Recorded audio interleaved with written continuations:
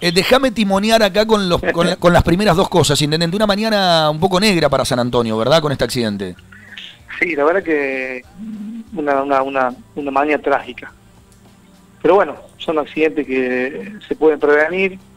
Eh, estamos trabajando en eso, pero bueno, lamentablemente la prevención siempre viene los días lunes cuando pasan los accidentes y bueno, en mm. este caso se llevó una vida de un joven de, de la misma edad mía, 38 años. Eh, intendente, extraoficialmente, ¿puedes mm, saber, eh, podemos saber qué pasó, eh, cuáles fueron las causas, qué, qué, qué, es lo que sucedió? Están trabajando perito, el perito que viene, me parece que de Pascanas. Eh, venía un, camión que, sale del pueblo y venía un muchacho, no sé si el, solo encandiló, eh, y bueno, se metió, lamentablemente se metió con el camión. Pero bueno, qué gracias de uno por ahí se resigna en estas cosas y, acompañamos el dolor de la familia, ¿no? Que no la estar pasando nada más. ¿El muchacho vivía en San Antonio? ¿Era de ahí? ¿Era de otro lado? Era oriundo de Sintra y tenía pareja acá en San Antonio, bueno, y venía todos los días. Y bueno, se iba a trabajar, se iba a trabajar, trabaja en zona rural, en, la zona de Sintra. Y bueno, se están, se están esclareciendo los, los, los casos a ver de qué pasó. yo te puedo decir, yo te puedo decir lo que uno pudo ver, que tal vez salió el camión y encandiló el sol, porque más o menos ahora sale el sol de frente y justo en una curva. Eh, pero más que eso no, no, no sé decir. Qué cagada. Te digo, te miento. Qué cagada, ¿no?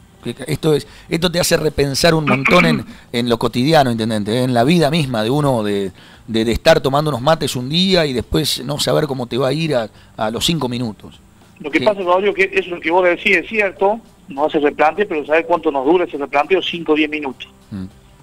Una vez que salir a la calle, el, el, abonaje de la calle te consume y, vos te olvidas de que con lo poco que tenés puedes ser más feliz de, con, todo lo que uno piensa. Así, el, humano es así. Y siempre digo que somos egoístas con nosotros mismos, que siempre vemos eh, la parte del vaso vacío, no vemos todo lo que construimos para, para abajo y demás. Eh, intendente, dejando eh, esta, esta noticia, esta noticia trágica de San Antonio de Lado, ¿no saltamos a otro sector eh, menos, menos, menos magro? Porque hablamos del primer caso de Omicron en San Antonio. Sí, somos, somos noticia en el Departamento de Unión. Mamita querida. Pero bueno, repito, yo, justo lo que, lo que hablamos y lo que te escuchaba decir a vos, nos hemos relajado todos, eh, estamos viviendo una situación crítica en lo económico, crítica en lo dirigencial, crítica en lo, en lo social, en el sentido de, solidaridad con el vecino. Entonces todo el mundo puede decir lo que quiere, puede decir lo que quiera.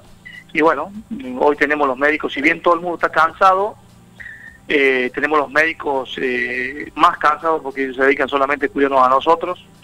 Y bueno, es preocupante, si bien tenemos 27 casos hoy, eh, lo que por ahí nos preocupa, que son tres nexos diferentes, eh, y que todos los contagiados tienen dos dosis de vacunas, y uno de los, de los 27 contagiados es una reinfección.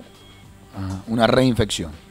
¿Está todo medianamente controlado, intendente, respecto a la salud de, las personas? Están controlados, están con el monitoreo que lo, siguen en el equipo eh, de seguimiento, que lo, le mandan un mensaje, lo llaman a la mañana y a la tarde, y los que por ahí se quieren hacer ver, que sienten un poquito de molestia y demás, a las 5 de la tarde, si no requieren antes, ¿no? Pero a las 5 de la tarde ya exclusivamente para que se vayan a hacer ver, eh, eh, que se den el control diario, ¿no?